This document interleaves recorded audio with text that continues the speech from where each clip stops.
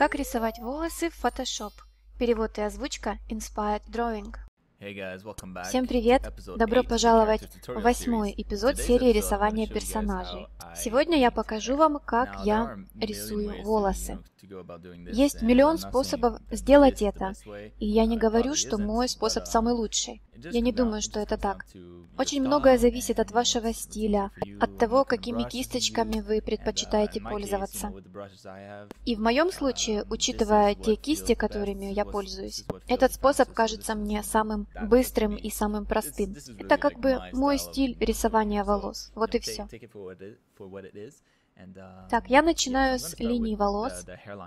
Это чуть более проработанная линия волос, чем та, которую я рисовал в предыдущих уроках. Я рисую такую, когда мой персонаж близко, когда я рисую портрет, которому нужно добавить больше деталей.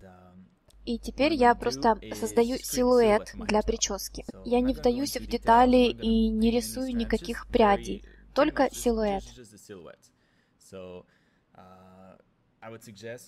И я бы советовал, когда вы рисуете волосы, то лучше не пытаться изобрести какую-то прическу, потому что это похоже, вот если сравнивать с анатомией, то это больше всего напоминает попытку стилизовать анатомию, не зная ее, не имея никаких базовых знаний об анатомии.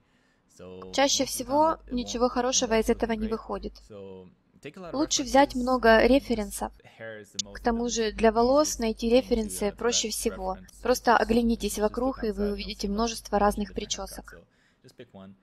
Выберите одну из них и попытайтесь применить ее к своему персонажу. И оттуда уже идите дальше. Вот у меня получилась очень простая стрижка, и сейчас я хочу грубо ее закрасить чтобы придать больше глубины, и после этого я хочу разделить эту большую массу на более мелкие формы. Представьте себе кожуру от банана или очень-очень длинные листья. Хорошо думать о бананах, потому что это помогает понять, что происходит с волосами, как пряди взаимодействуют друг с другом, как они изгибаются и перекрывают друг друга. А если вы начнете сразу с мелких деталей, то будет довольно сложно придать вашим волосам интересный вид. По крайней мере, у меня никогда не получалось. В общем, здесь все то же самое, как и всегда. Вы начинаете с большего, а потом идете к меньшему. Добавляете детали. Вот так примерно выглядят мои упрощенные волосы. По сути, это удлиненный прямоугольник со множеством линий. И то, как эти линии распределяются, напоминает нам о правиле третей. Посередине находится одна треть, она довольно чистая и на ней практически ничего нет. Две трети по бокам будут чуть более тяжелыми и иметь больше линий. И если стянуть этот прямоугольник к краям, то вы получите представление о том, как выглядит прядь волос. После этого я просто повторяю то же самое уже на волосах. Таким образом, получаю довольно хорошее поле для деталей деталей. То есть, как только у меня есть такая схема, я могу идти дальше и добавлять на нее деталей. Я беру кисть поменьше и более светлым цветом добавляю несколько штрихов там, где они нужны, где падает свет. После этого беру большую мягкую кисть в режиме оверлея, беру более яркий цвет и добавляю еще несколько штрихов там, где будет больше всего света, чтобы получить такой красивый переход. И в конце концов останется добавить только финальные штрихи, которые я делаю сейчас. По сути, это все большой шар, если посмотреть на это с такой стороны. В конце концов, так оно и есть. Макушка головы довольно плоская, но в целом это большой шар.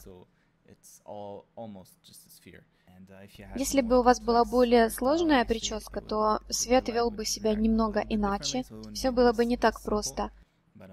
Но в данном случае все именно так. Этот метод годится всегда, когда вы рисуете длинные распущенные волосы. С длинными волосами тоже немного сложнее, потому что нужно думать о том, как они меняют свою форму. Но тут снова поможет представить себе прямоугольник и представить, как он меняется. Такую форму представить очень легко, и это упрощает задачу. В принципе, здесь все. Вы можете хорошо видеть направление прядей волос. И я сейчас рядышком нарисую другую прическу, чтобы продемонстрировать, как применить тот же самый метод для более длинных волос. Собственно, так я рисую каждый раз. Надеюсь, вам понравилось, надеюсь, было полезно. Не забывайте подписываться и рассказывать друзьям. Собаке тоже расскажите. И увидимся в